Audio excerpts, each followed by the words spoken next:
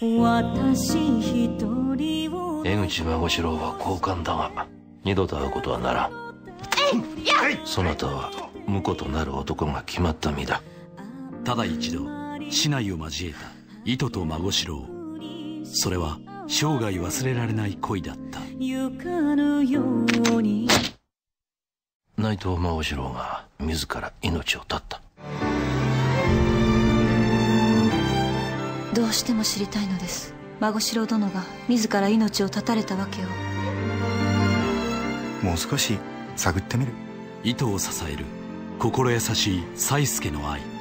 そして徐々に明らかになる思いもよらぬ真相。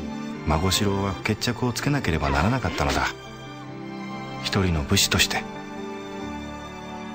花の後。糸が見つけたのは本当の愛